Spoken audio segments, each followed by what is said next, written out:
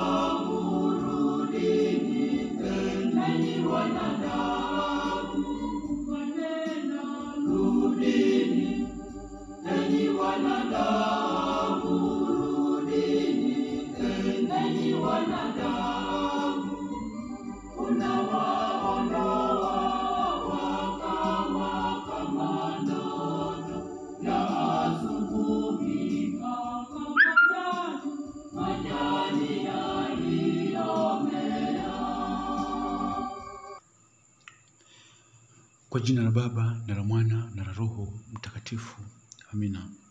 Salamu Maria, umejaa neema, Bwana nawe, umebarikiwa kuliko wanawake wote, na Yesu mzao wa tumbo lako amebarikiwa. Maria Mtakatifu, mama wa Mungu, utuombee sisi wakosefu, sasa na saa ya kufa kwetu. Amina. Kwa jina la Baba na la Mwana na la Roho Mtakatifu, amina. Mpendwa mtazamaji, karibu katika kipindi cha kutafakari mateso ya Kristu na tunaanza na Jumatano ya Majivu. Katika mada ya leo tutaelezea Jumatano ya Majivu na umuhimu wake katika maisha yako. Jumatano ya Majivu na umuhimu wake katika maisha yako, au kwa lugha nyingine, Jumatano ya Majivu na maisha yako. Jumatano ya Majivu na maisha yako.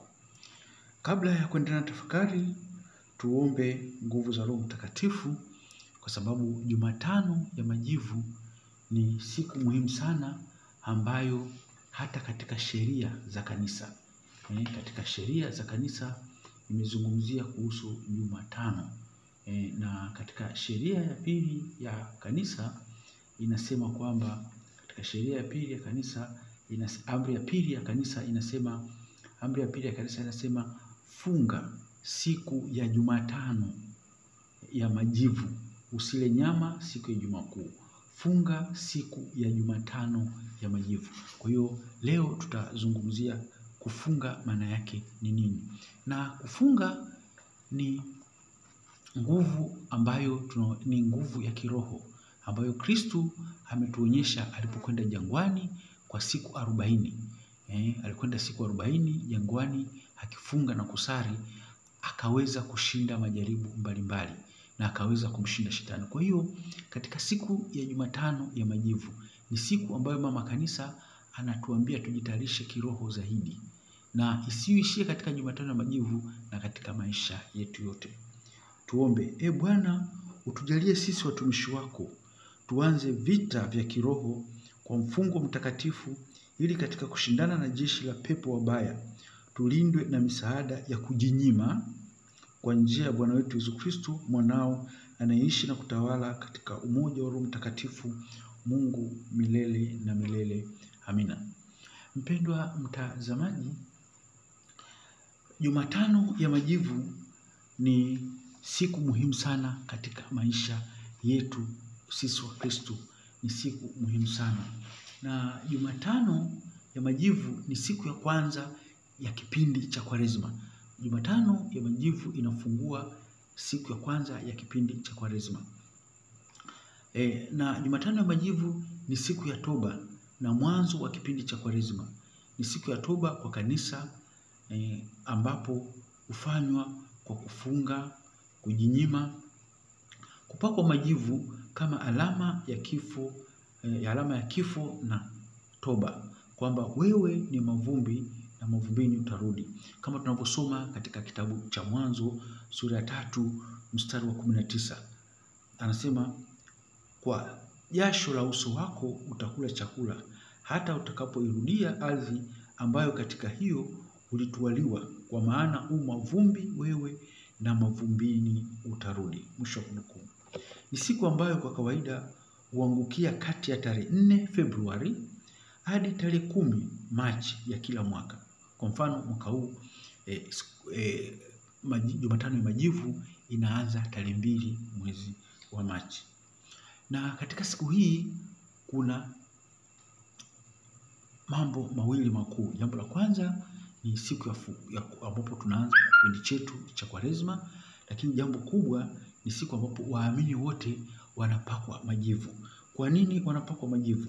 Waamini wanapakwa majivu kichwani kama ishara ya toba, malipizi kufunga na kujinyenyekeza mbele za Mwenyezi Mungu.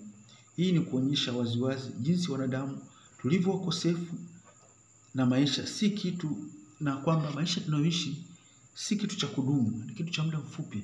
Kwa hiyo inatukumbusha kwamba sisi iko siku moja tutakufa. Maandiko matakatifu yanaeleza vizuri jinsi watu walivyofanya toba.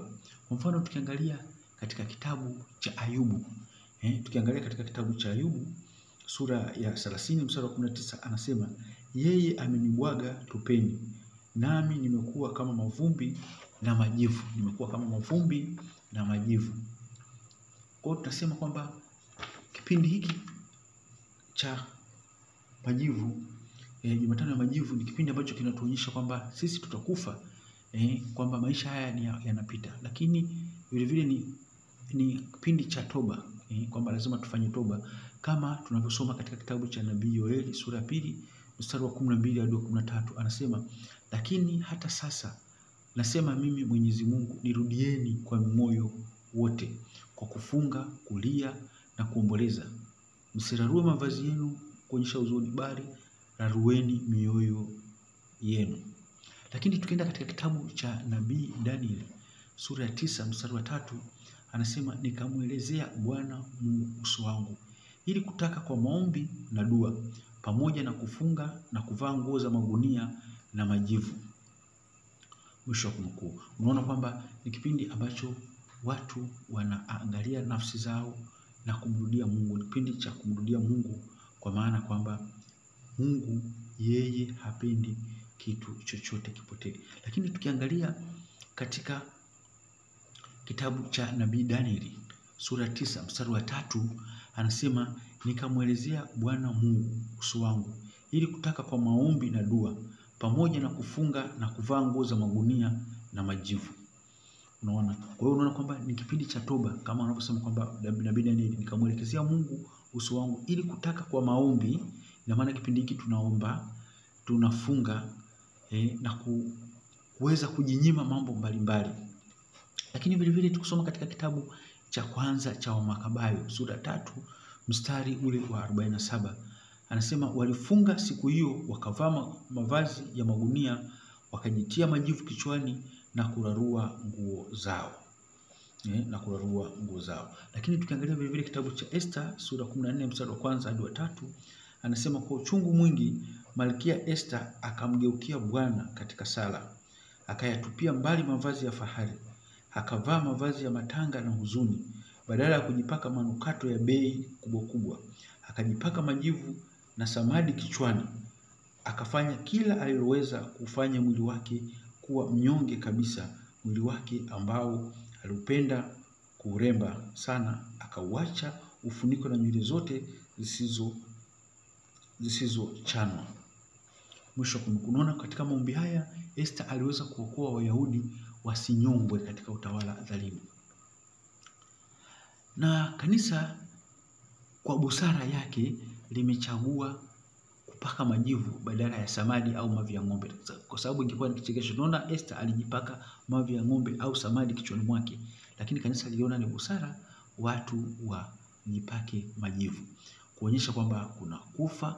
Na katika Jumatano ya Majivu unaona kuna ishara tatu ambazo zinatukumbusha mambo matatu muhimu. Kwanza, zinatukumbusha kwamba sisi binadamu maisha yetu ni ya kupita, tutakufa.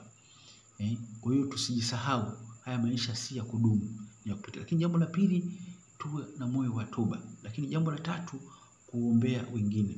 Tukiangalia liturujia ya Jumatano eh, ya Majivu imetuelekeza vizuri sana liturujia ya Jumatano ya Majivu. Katika liturujia ya Jumatano ya Majivu tunaona kanisa mama kanisa anatuambia katika kitabu cha Hekima e, sura ya kumi na moja mstari wa ishirini na nne wa ishirini na tano hadi ishirini na sita anasema e Bwana, wewe wavipenda vitu vyote vilivyopo, wala ukichukii kitu chochote ulichokiumba. unawasamee watu dhambi zao, ili wapate kutubu na kuwahurumia, kwa kuwa ndiwe Bwana Mungu wetu. Mwisho wa kunukuu.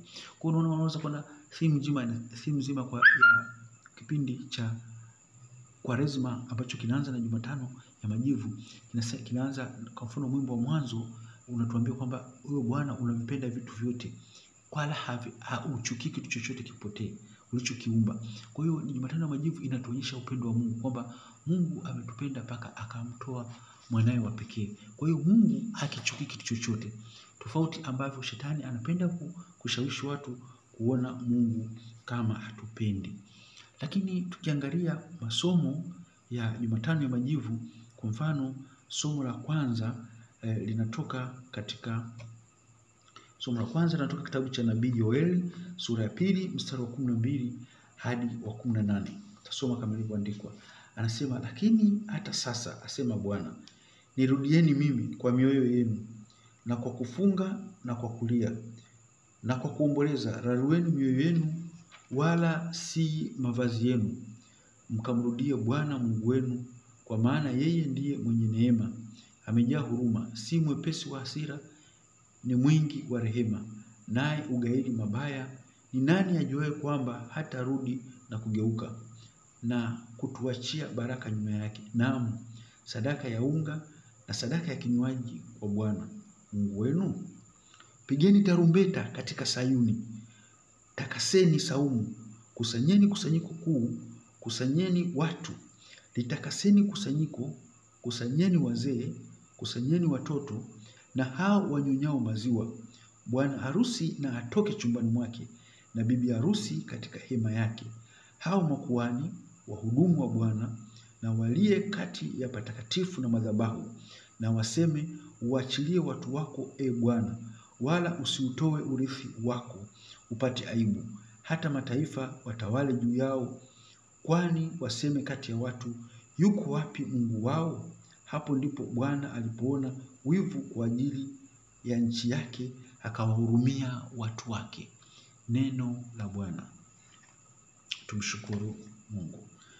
Tuangalie somo la pili ambalo vilevile linatoka, linatoka kitabu cha Agano Jipya katika waraka wa pili kwa Wakorinto wa Mtume Paulo mstari wa tano e, su, Wakorinto wa pili sura ya tano mstari wa ishirini hadi wa sita na kuendelea. Ndugu zangu, sisi tu viumbe kwa ajili ya Kristo, kana kwamba Mungu ana Mungu anasihi kwa vinywa vyetu. Twawaomba ninyi kwa ajili ya Kristo mpatanishwe na Mungu, yeye asiyejua dhambi alimfanya kuwa dhambi kwa ajili yetu, ili sisi tupate kuwa haki ya Mungu katika yeye. Nasi tukitenda kazi pamoja naye, twawasihi msiipokee neema ya Mungu bure, kwa maana asema, wakati uliokubalika nalikusikia, siku ya wokovu nilikusaidia. Tazama, wakati uliokubalika ndio sasa, tazama, siku ya wokovu ndio sasa. Neno la Bwana. Tumshukuru Mungu. Na injili yetu ya Jumatano ya Majivu inatoka katika Injili ya Mtakatifu Marko sura ya sita mstari ule wa kwanza hadi wa sita mstari wa kumi na sita hadi wa kumi na nane. Siku zile Yesu aliwaambia wafuasi wake, angalieni msifanye wema wenu machoni pa watu, kusudi mtazamwe na wao, kwa maana mkifanya kama hayo hampati thawabu kwa Baba yenu aliye mbinguni. Basi wewe utoapo sadaka usipige panda mbele yako kama wanafiki wafanyavyo katika masinagogi na njiani, ili watukuzwe na watu. Amini nawaambieni, wamekwisha kupata thawabu yao. Bali wewe utoapo sadaka, hata mkono wako wa kushoto usijue ufanyalo mkono wa kuume. Sadaka yako iwe kwa siri, na Baba yako aonaye sirini atakujaza. Tena msalipo, msiwe kama wanafiki, kwa maana wao wapenda kusali hali wamesimama katika masinagogi na katika pembe za njia, ili waonekane na watu. Amin nawaambia, wamekwisha kupata thawabu yao.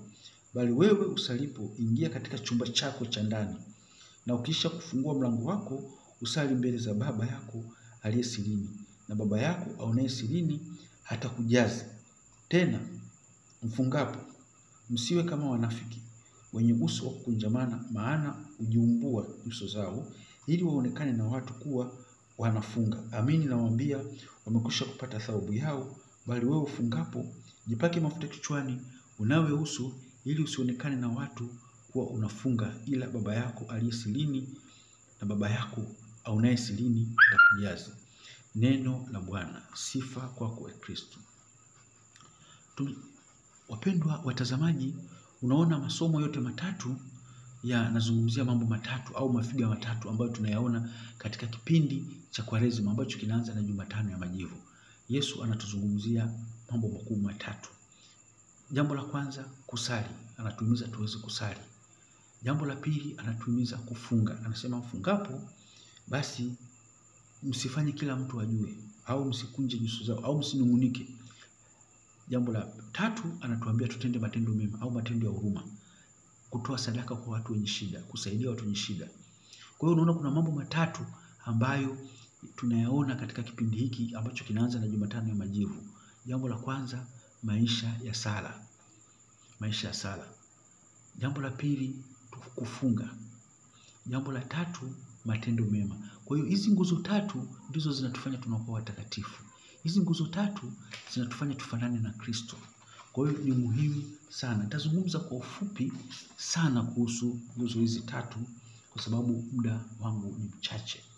Tukianza na sala, hatuwezi hatuwezi kumwelekea Mungu kama hatusali. Sala ni kuinua moyo wako kwa Mungu, ni kumwelekea Mungu, ni kuzungumza na Mungu. Tunaposali tunapata nguvu, na hiyo nguvu inatusaidia kufunga. Tunapofunga maana yake tunatiisha tamaa za mwili na tunampa Mungu nafasi zaidi katika maisha yetu.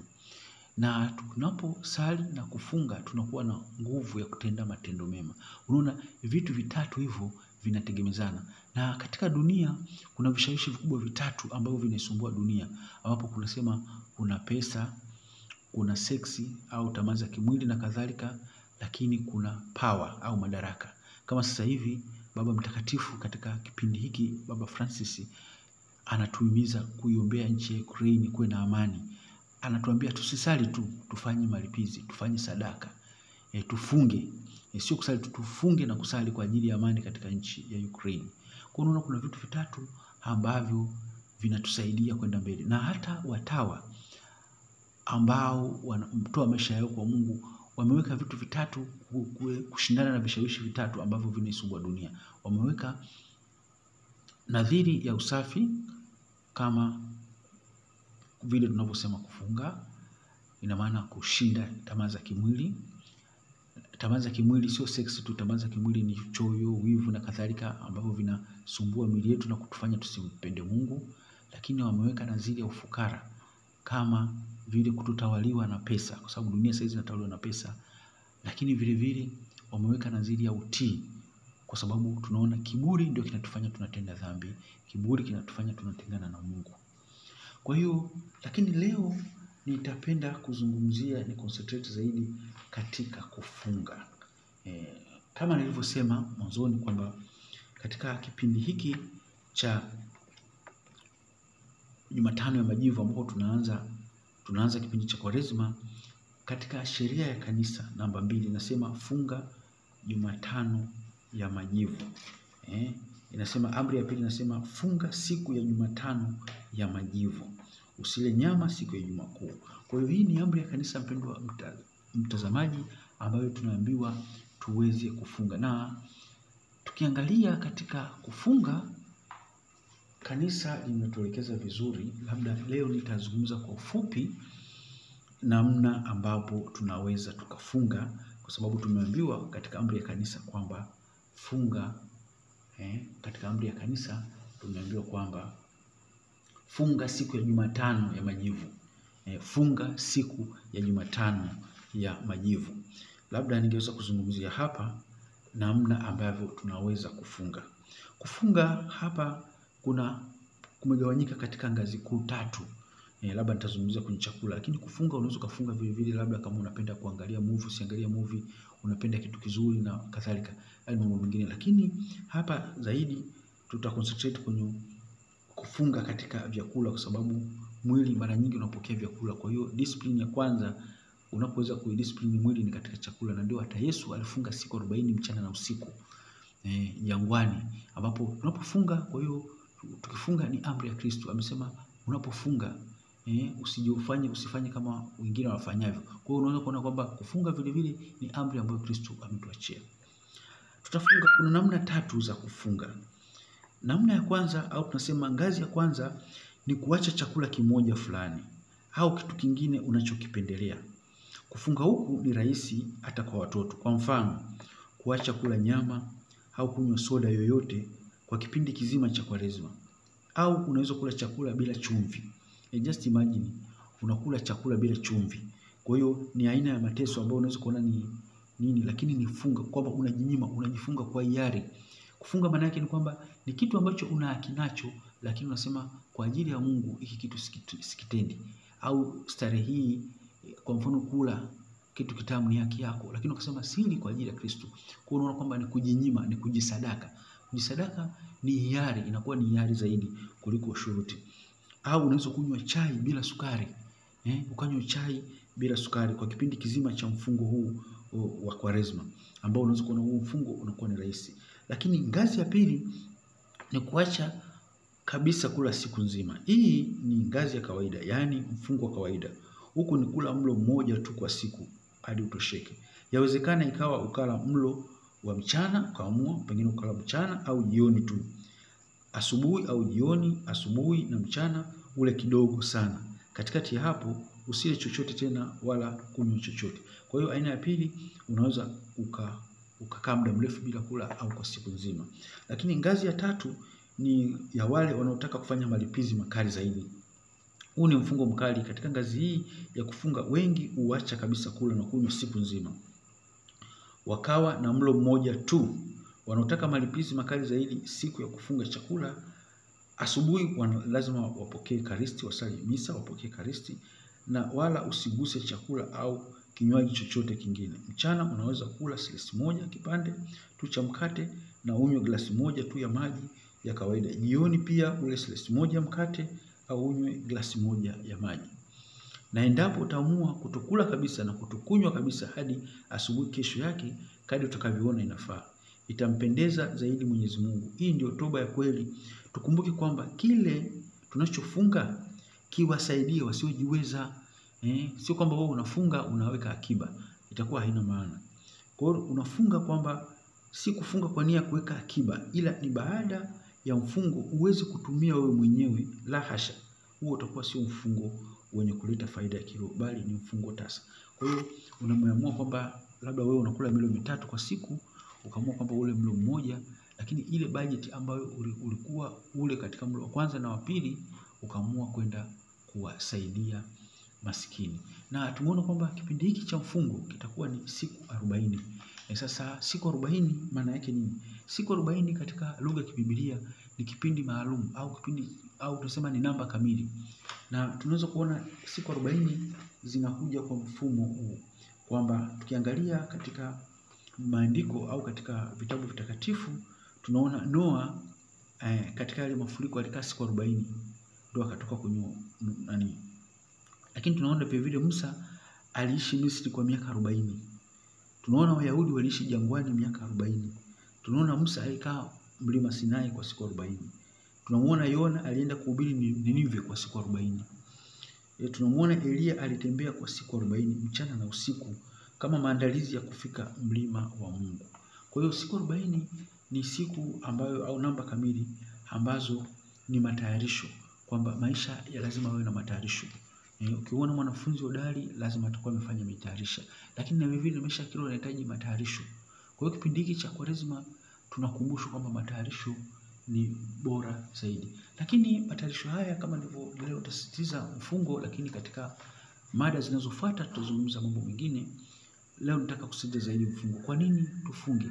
Tunafunga kwa sababu Kristo mwalimu wetu alituhimiza tuweze kufunga, lakini unapofunga unafunga ili kumpa Mungu nafasi zaidi katika moyo wako au nafsi yako e, kwamba Mungu kwanza, mengine baadaye. Kwa unapojinyima kwamba mimi unajinyima upate muda wa kumpenda Mungu zaidi, unajinyima upate muda wa kumtafakari Mungu zaidi, unajinyima kwamba upendo wako ufanane na wa Mungu, kwamba kilichozidi kwako ukimpe kwa yule ambaye hana, lakini ni kuondoa tamaa za kimwili au raha zisizo na msingi za kidunia ambazo wakati mwingine zinatunyima nafasi ya kumtumikia Mungu inavyopasa.